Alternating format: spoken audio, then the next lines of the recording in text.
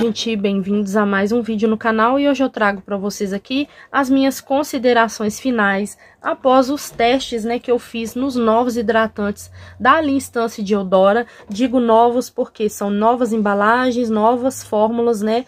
Então eu trouxe aqui para vocês essa breve resenha do que eu achei, do que mudou, né? Eles me enviaram um trio de amostras, essas aqui eu não abri porque são exatamente dos mesmos hidratantes que eu adquiri.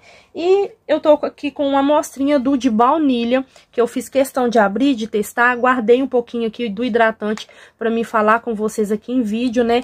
E fazendo aqui também a comparação junto com vocês. Já testei, claro, mas eu vou trazer para vocês aqui o que mudou, qual a diferença tanto na questão da textura, do cheiro, enfim. Então, vou deixar essas aqui para me falar com vocês no final.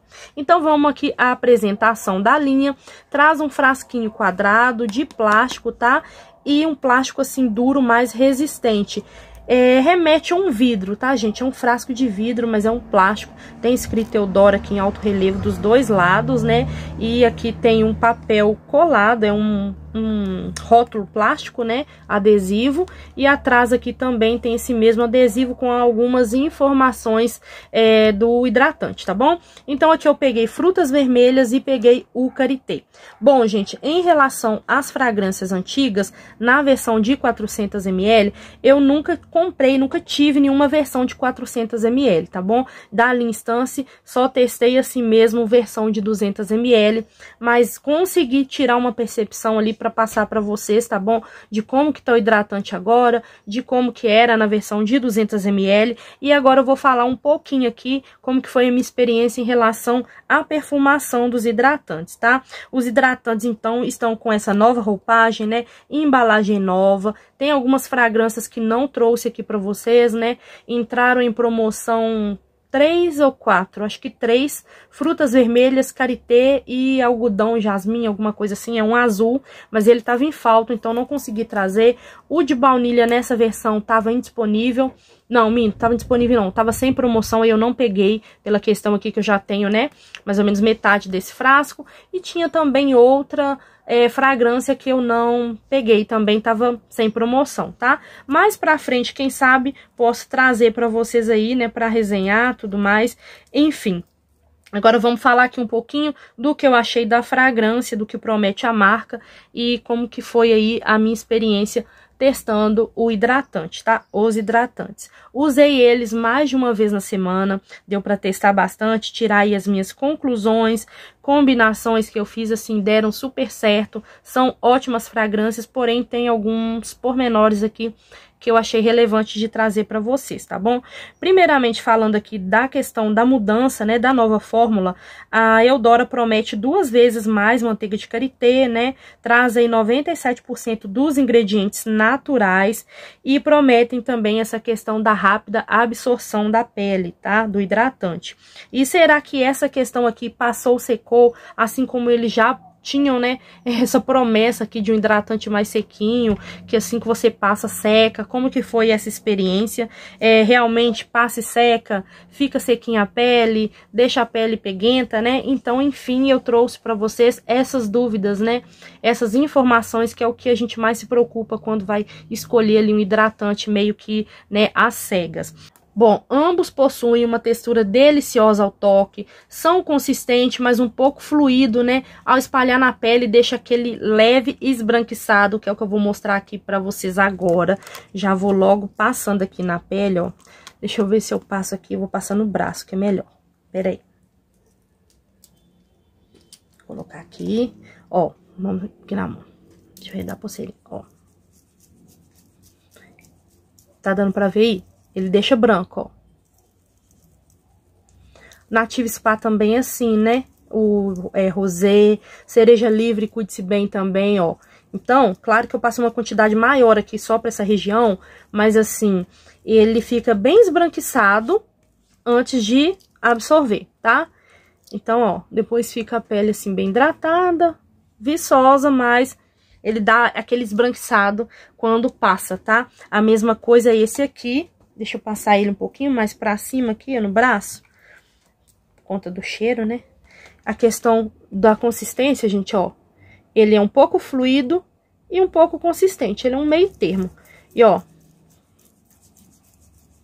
deixa super esbranquiçado. Tá vendo? Aí depois vai espalhando, ó. Ainda assim tá um pouquinho esbranquiçado, não sei se tá dando pra ver. Agora sim, é, a pele já absorveu tudo, ó. Ficou bem sequinho, tá? E aí, agora eu vou falar com vocês a respeito da questão da fragrância, né? Vocês viram aí que essa textura é um pouco fluida, mas um pouco consistente, é um meio termo ali. Em relação à consistência, mesmo deixando esse esbranquiçado, que eu não curto tanto, porque acaba você tendo um pouquinho mais de trabalho ali pra, né, finalizar o hidratante na pele. É, se você não espalhar, ele vai ficar aquele aspecto esbranquiçado até a pele é, absorver por completo. Mas assim, gente, seca rapidinho, hidrata bem a pele, deixa a pele sequinha. A questão do cheiro, eu esperava bem mais desse frutas vermelhas, tá? Logo quando eu passei ele na pele, quando eu passo ele na pele, ele traz, assim, um cheirinho de frutas vermelhas, que eu até mencionei a questão que ele me lembrou um pouco frutas vermelhas da Natura. Porém, porém, infelizmente, esse cheirinho, gente, deixou muito a desejar, assim, na, pra mim, no meu olfato porque eu esperava mais frutas vermelhas. Eu imaginei um hidratante assim quando eu passasse na pele, que seria mais docinho, com aquelas frutas vermelhas mais suculentas, né? Que é o que eu sinto lá no Natura Todo Dia, frutas vermelhas, né? Frutas mais docinhas, suculentas, né? Aquele adocicado mais, mais assim, sabe? Mais chamativo. E aqui não, eu achei ele bem delicado. É, assim que você passa ele na pele, espalha e a pele já chupa ali aquele creme, né? Já absorve o cheirinho dele, já fica bem delicadinho, gente, bem delicado mesmo, tá? Só aquela aquela sensação de pele de sabonete que você acabou de tomar banho, sabe? Fica aquele cheirinho leve, delicadinho, um leve doçor ali, né, das frutas vermelhas, mas também some rápido, tá? Você não vai ficar com a pele perfumada por muito tempo. O que me frustrou muito porque esse hidratante aqui, gente, nossa, daqui a pouco eu vou falar dele para vocês, mas quem acompanha os atos da semana deve ter acompanhado que eu falei em um dia que eu usei ele, eu passei ele à noite para dormir, amanheci com o cheiro desse hidratante exalando, gente. Ele é muito maravilhoso, tá? Não sei como é a versão, era, né, a versão de 400ml de baunilha, porque só testei essa versão, mas esse aqui de 200ml tem uma fragrância intensa, marcante e gruda na pele, tá? Fixa. E aí, como que foi aqui o Karité? Ele já me agradou um pouco mais. Esse aqui parece que ele é um pouco mais seco. Esse aqui parece que ele é um pouco mais é, como eu vou dizer, ele tem algo ali que parece que tá um pouco mais cremoso, sabe? Eu achei ele um pouco mais hidratante, como se tivesse ali mesmo uma manteiga do próprio karité, porque aqui ambos eles têm a manteiga de karité, mas aqui parece que tem um pouco mais, talvez até por ser um hidratante de karité, a concentração talvez ali da manteiga do karité foi um pouquinho maior, né? Então eu acho que assim, até condiz. Mas eu gostei mais do karité, tanto pela questão é, dessa consistência, né? Que eu achei um pouquinho mais assim, com uma cremosidade, um toque é, mais agradável de passar ele na pele.